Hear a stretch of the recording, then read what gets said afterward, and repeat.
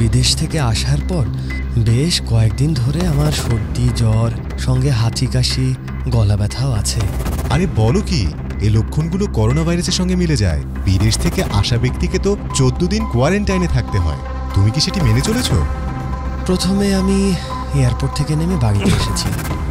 পরে বাসায় ঢুকে আব্বা আম্মাকে সালাম দিয়ে বাবুকে আদর করেছি।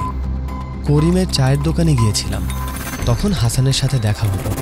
চা খেলাম, করিমকে টাকা দিলাম। তারপর বাসায় ফিরে বাসার সবাই একসাথে বসে টিভি দেখেছি, খাবার খেয়েছি।